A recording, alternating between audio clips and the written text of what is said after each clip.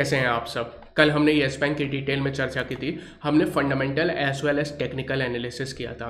Video के last में जब हम टेक्निकल एनालिसिस कर रहे थे तो मैंने बात की थी कि येस बैंक में बड़ी तेज़ी आपको पंद्रह रुपए के रेजिस्टेंस को ब्रेक करने के बाद ही देखने को मिलेगी। ये जो ग्रीन कैंडल बनी थी कल, वो थी एक शूटिंग स्टार हाई वॉल्यूम के साथ तो मैंने बोला था पंद्रह रुपए के बाद ही आप इसमें बाय करने का सोचना।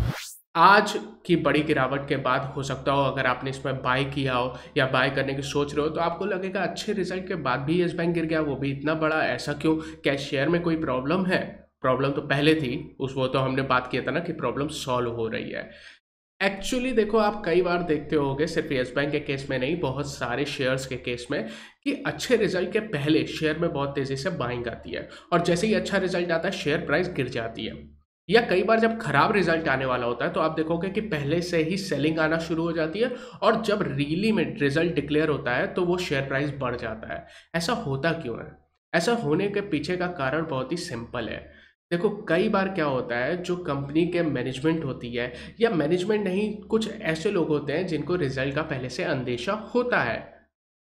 मैं ये बिल्कुल नहीं कह रहा हूँ कि मैनेजमेंट इसमें इन्वॉल्व होता है इन्फॉर्मेशन लीक होती है, ऐसा बिल्कुल भी मैं नहीं कह रहा हूँ, क्योंकि ये इलीगल है। This would be a insider trading लेकिन आप कितना भी रूल बना दो इन्फॉर्मेशन को, आप रोक सकते नहीं हो।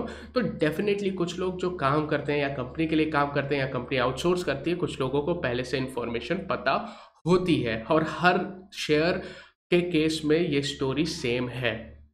सेम आप येस बैंक के केस में भी देखोगे कि रिज़ल्ट के एक हफ़्ते पहले से येस बैंक में हायर देन एवरेज वॉल्यूम आ रहे थे और देखो बाइंग शुरू हो गई थी और बहुत तेज़ी से बढ़ा।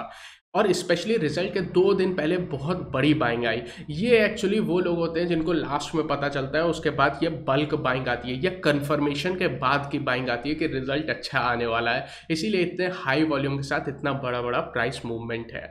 तो बेसिकली जो आज की सेलिंग है, वो रेदर देन कि येस बैंक के साथ कुछ ख़राब है it is more of a profit booking जिनको पहले से इन्फॉर्मेशन थी, जिन्होंने थोड़ा सा पहले से पोजीशन बना ली थी। ये उनके द्वारा प्रॉफिट बुकिंग की गई है रेदर देन कि शेयर के रिजल्ट्स में कोई भी प्रॉब्लम है। ऐसा बिल्कुल नहीं है। मैं इसलिए बता रहा हूँ कि अगर आप सोच रहे हो कि अच्छे रिज़ल्ट के बाद भी शेयर गिर गया, यार ये येस बैंक है, इसका तो भरोसा कर ही नहीं सकते। ऐसा नहीं है। ऐसा हर शेयर के साथ होता है, ज़्यादातर शेयर के साथ यही कहानी है। अगर आप निवेशक हो, आपका थोड़ा लंबा टाइम हराइजन है तो आपको येस बैंक पे टेंशन लेने की ज़रूरत है नहीं। Of course it is still a risky investment but in terms of जो क्वार्टरली रिज़ल्ट दिया गया है कंपनी में बड़े बदलाव बिग चेंजेस हो रहे हैं, जो कि बहुत ही पॉजिटिव है। आज की गिरावट के वजह से आप उसके जो भी अच्छा किया उसने इस क्वार्टर में, उसको निगेट मत कर देना, उसको अपने ध्यान में रखना।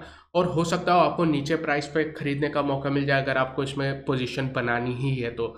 लेकिन, ये तो हो गई निवेशकों की बात। अगर आप ट्रेडर हो तो आपको बिल्कुल भी पंद्रह रुपये से पहले इस शेयर को नहीं खरीदना है।